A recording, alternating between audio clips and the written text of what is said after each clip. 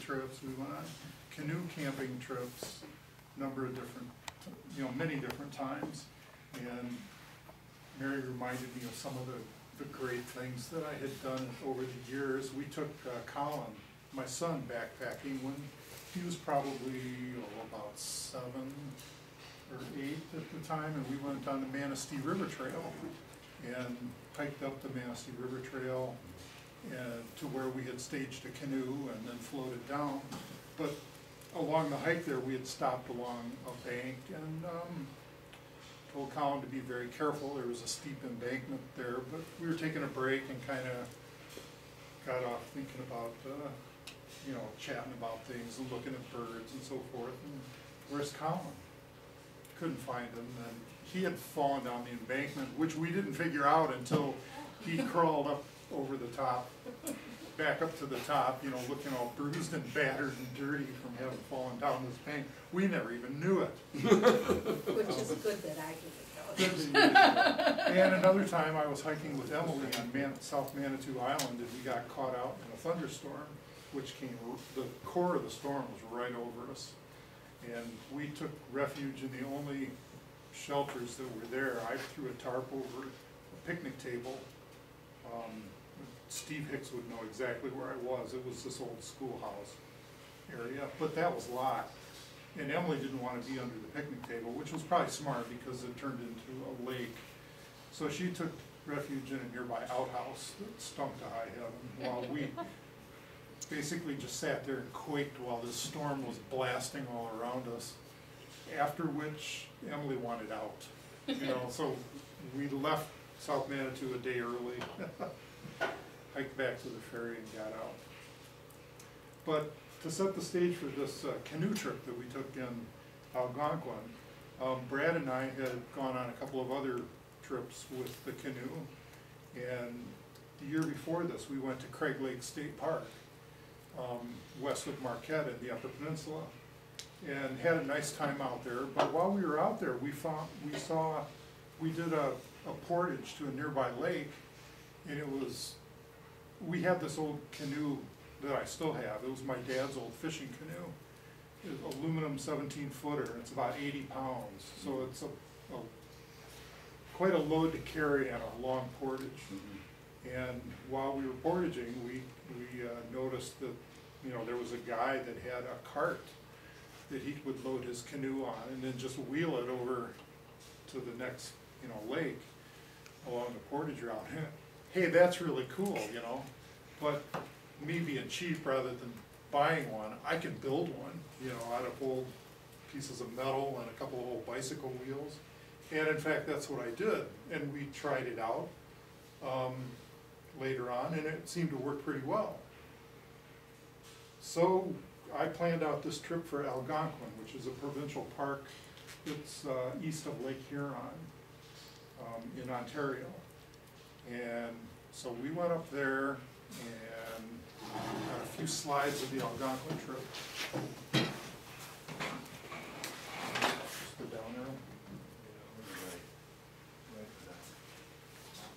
Okay, and here is the start of it.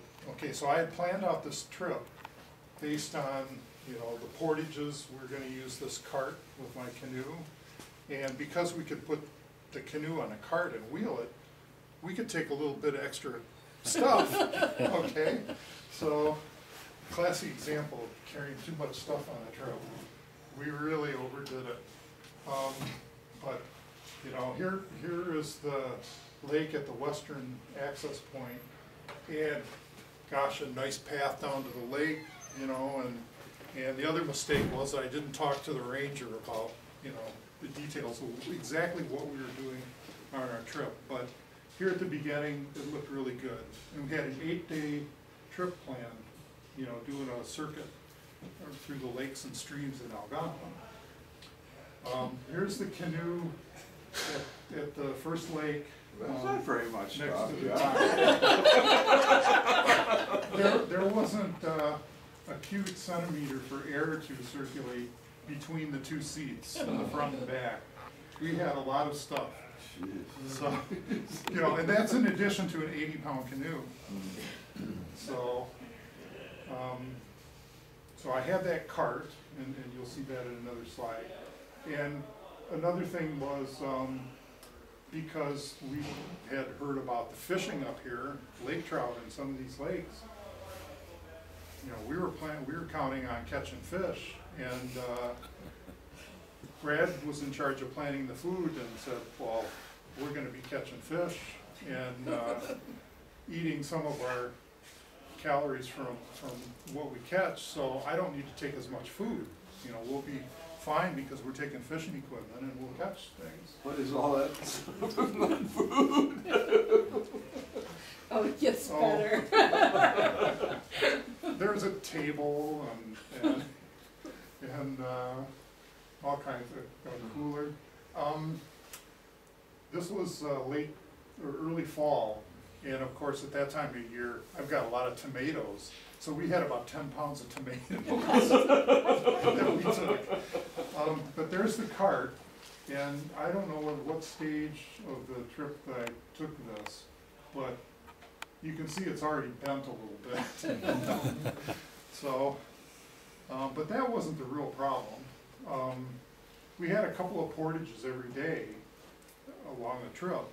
And at the beginning, they were pretty easy, and we were using the cart, and, and, uh, it was working out pretty good, you know. Hey, hey, this is a great plan, you know, this is all going fine. And, uh, these portages are easy with this cart.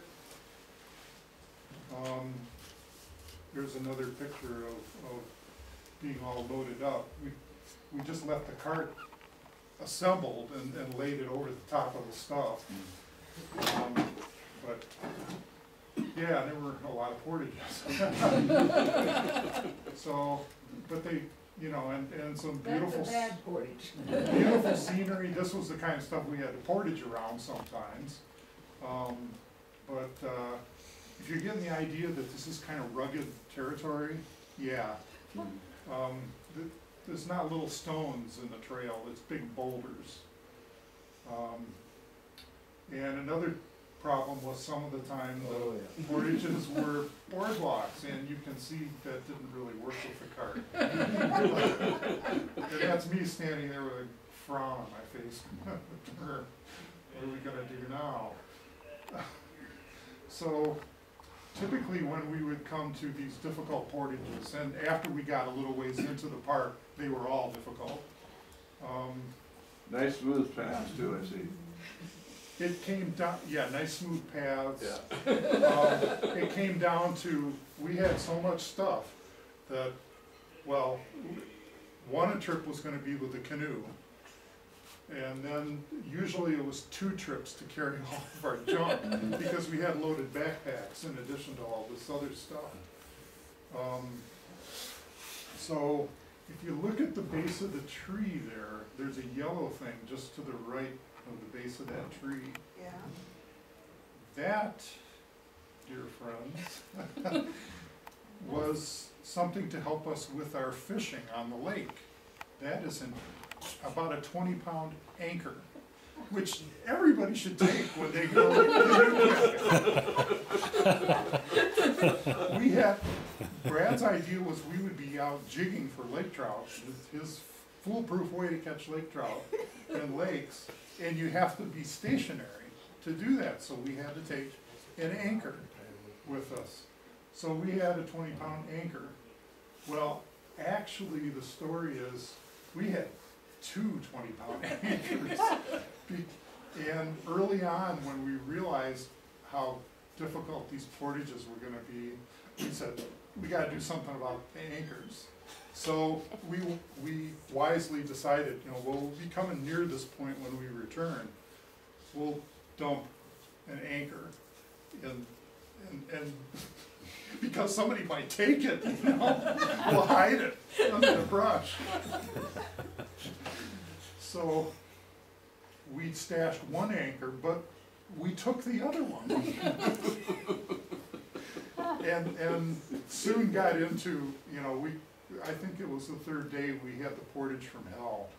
That was about a mile on the map. I think it was longer with all the winding trail, the boulders, you know, the enormous boulders we had to get our canoe around. Um, and we had to do that three times. So we spent all day long doing a portage. And at that point, we started looking at the map going, well, what options do we have here? Cause we, we are not gonna be able to make this entire loop that we were planning. And fortunately, I was able to figure out a shorter cut at one point where we cut some, uh, distance off of our trip. So that was good. We still had eight days in which it was like, uh, being at boot camp. We were working our butts off all day long. You know, the canoe, the portages took us three times as much time, or, or more, longer than they should have. And being loaded down to the gunwales with that canoe, when we paddle across a lake, it took a long time, especially when you're out in the wind. It was a lot of work. Um, one of the interesting events we had was, we, we, uh, walked this portage. We were canoeing down, the down this river and came to a place where there were a portage and looked on the map and it wasn't clear that there was a waterfall there, so we weren't sure why there was a portage. And as we walked it, we were up above the stream and could see that there was some rapids down there, but that's no obstacle, we'll just float the canoe down, you know, we'll portage our gear, so we wouldn't get it wet if we had a problem. But we'll just, uh, canoe down, and when we get to the rapids, we'll walk through the rapids and, and carry, you know, and, and pull, drag the canoe along with us through the rapids. So we got down to the end and stashed all our stuff, and left it there, and hiked back, and en route, there was another couple that was doing their portage, you know, they're carrying their canoe. You know, your canoe's back there, well, oh, we're making it in two trips. Three trips, we didn't wanna tell them three trips. But, but we had left all of our gear laid out, you know, and then we proceeded to, uh, walk the canoe down through the rapids. And everything was going just great, and all of a sudden, there was a rainstorm that came in and just drenched us. And all of our gear was laying out on the ground at the end of the portage, you know, but, but we had, we had stopped and chatted with these people and, and we were trying to offload weight, so, hey, you want some fresh tomatoes? You know, we're hundred miles from anywhere, and, uh, we gave them some fresh tomatoes, which they thought was really great, you know? And, um, they had gotten to the end of the portage and saw the rain coming in. And, you know, what they would do would just flip the canoe over and crawl underneath it and wait the rain out. But they saw our stuff laying there and we had tarps, and so they pulled tarps out and covered our gear. Oh, nice. So thankfully, they, they did us a, a great favor. Yeah, Mm-hmm. that's cool.